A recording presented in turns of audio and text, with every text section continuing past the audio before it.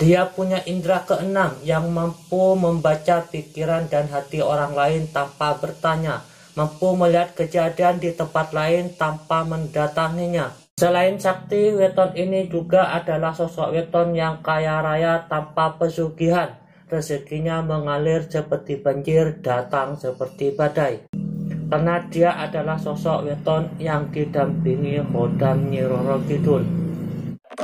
Selamat datang di channel Radio Notonegoro. Jangan lupa subscribe IKN Sari. Assalamualaikum warahmatullahi taala wabarakatuh. Jumpa lagi di channel Radio Notonegoro, channel YouTube yang menyajikan ramalan-ramalan primbon Jawa. Kali ini saya akan membahas tentang weton paling misterius yang disukai Nyiroro Kidul, kaya raya tanpa pesugihan.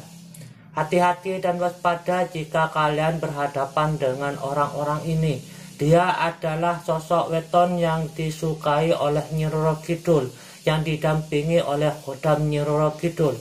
Dia punya indera keenam yang mampu membaca pikiran dan hati orang lain tanpa bertanya, mampu melihat kejadian di tempat lain tanpa mendatanginya. Dia sosok orang yang baik hati dan suka menolong tapi jika dia dianiaya atau dizolimi secara berturut-turut sehingga dia sudah tidak betah dan tidak tahan lagi, dia akan menghancurkannya seperti daratan dihantam badai angin topan atau seperti banjir bandang. Karena dia adalah sosok weton yang didampingi Hodam Nyiroro Kidul. Selain sakti, weton ini juga adalah sosok weton yang kaya raya tanpa pesugihan. Rezekinya mengalir seperti banjir, datang seperti badai. Aminkan jika weton kalian termasuk weton-weton ini, karena ucapan adalah doa, agar kalian benar-benar kaya raya tanpa pesugihan. Saya doakan sobat raju semua diberikan rezeki yang berlimpah, keinginan terwujud dan lunas dari hutang-hutang Aminkan. Amin. Sebelum saya bahas weton apa saja yang paling misterius yang disukai Nyiroro Kidul, kaya raya tanpa pesugihan menurut Primbon Jawa, bagi sobat yang baru bergabung di channel Rajo Nutonegoro, silahkan sobat subscribe terlebih dahulu channel ini. Dan jangan lupa tekan loncengnya agar mendapatkan notifikasi atau pemberitahuan konten-konten terbaru dari channel ini.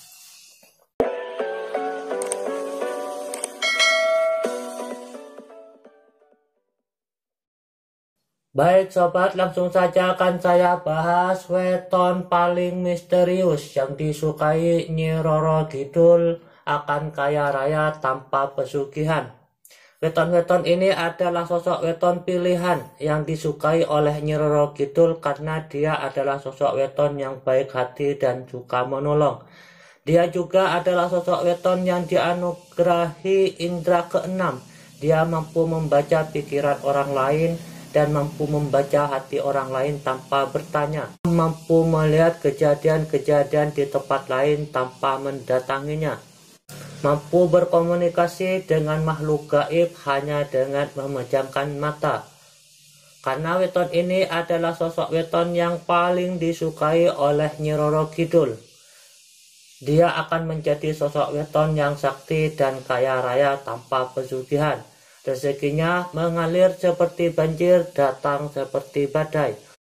Lalu weton apa saja yang paling beruntung tersebut yang disukai oleh Nyiroro Kidul sehingga menjadi sosok weton yang misterius? Weton yang suka menolong tapi juga akan menghancurkan kezoliman. Karena jika weton ini merasa dianiaya atau dizolimi, akan menghancurkannya seperti daratan dihantam badai angin topan atau seperti banjir bandang. Dilihat dari tiga ramalan primbon Jawa, ternyata weton yang paling disukai oleh Nyiroro Kidul adalah weton-weton yang punya elemen air dan punya elemen angin. Weton yang punya elemen air adalah weton-weton yang mempunyai jumlah neptu 16 dan weton yang mempunyai elemen angin adalah weton-weton yang mempunyai jumlah neptu 9. Air bisa datang mengalir dengan tenang namun juga bisa datang menerjang. Angin juga bisa datang dengan sepoi-sepoi, juga bisa datang menjadi badai. Kemudian dilihat dari ramalan cakra manusia, weton-weton yang punya jumlah neptu 16 dan 9 ini adalah sosok weton yang punya indera keenam karena berada di bawah naungan cakra ajena. Weton yang berada di bawah naungan cakra ajena ini akan dianugerahi indera keenam. Dia mampu membaca pikiran dan hati orang lain tanpa bertanya, mampu melihat kejadian di tempat lain tanpa mendatanginya, dan dia juga bisa mampu berkomunikasi dengan makhluk gaib hanya dengan memejamkan mata. Kemudian dilihat dari ramalan primbon Jawa pembagi tujuh, yaitu ramalan keistimewaan yang dimiliki oleh weton. Ternyata weton yang punya jumlah neptu 16 dan jumlah neptu 9 ini adalah sosok weton yang berada di bawah naungan tunggak semi. Weton yang akan dianugerahi selalu berkelimpahan rezeki. Tidak heran jika weton yang mempunyai jumlah neptu 16 dan 9 ini akan kaya raya tanpa pesugihan. Ditambah lagi dua weton ini adalah sosok weton yang paling disukai Nyiroro Kidul, didampingi oleh Khodam Nyiroro Kidul. Tidak heran jika rezekinya mengalir seperti banjir, datang seperti badai. Weton ini akan kaya raya tanpa pesugihan karena didampingi Khodam Nyiroro Kidul. Dari dua kelompok weton ini, setelah dilakukan petungan primbon Jawa, ada lima weton yang berada di bawah naungan lakuning air dan lakuning angin. Yang pertama adalah weton yang mempunyai jumlah neptu 16. Weton yang mempunyai jumlah neptu 16 ada tiga weton, yaitu weton Rabu Paing, weton Kamis Kliwon, dan weton Sabtu Pon. Tiga weton ini adalah sosok weton yang berada di bawah naungan La Kuning Air. Weton yang bisa datang dengan mengalir tapi juga bisa datang menerjang. Karena weton yang punya jumlah neptu 16 ini berada di bawah naungan La Kuning Air atau punya elemen air, weton yang punya jumlah neptu 16 ini termasuk dari weton yang disukai oleh Nyiroro Kidul tidak heran jika weton yang punya jumlah neptu 16 ini akan dianugerahi uh, indera keenam. Weton yang mem mampu membaca pikiran dan hati orang lain tanpa bertanya, mampu melihat kejadian di tempat lain tanpa mendatanginya dan mampu berkomunikasi dengan makhluk gaib hanya dengan memejamkan mata. Sedangkan rezeki dari weton yang punya jumlah neptu 16 ini akan mengalir seperti banjir. Tidak heran jika weton yang punya jumlah neptu 16 ini akan kaya raya tanpa pesugihan.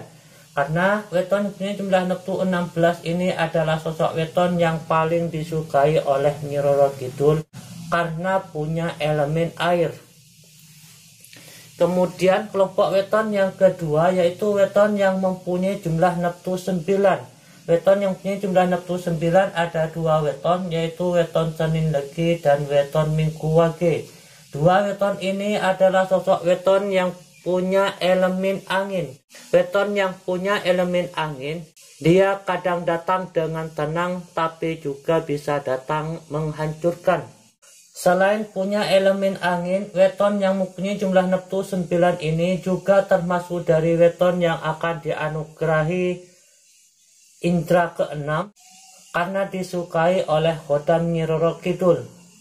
Dia akan mampu membaca isi hati orang lain, mampu membaca pikiran orang lain tanpa bertanya, mampu melihat kejadian di tempat lain tanpa mendatanginya, mampu berkomunikasi dengan makhluk gaib hanya dengan memejamkan mata.